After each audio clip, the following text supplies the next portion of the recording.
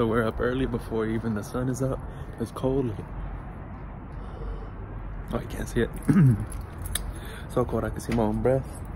But you know, it's Friday, so Friday mornings we always hoop. So let's get it. Hopefully we got some highlights this time. Now I don't do as bad as I did last time when I scored like two points in like four games. But you know, you can only get better, right? So let's see how today goes. All right.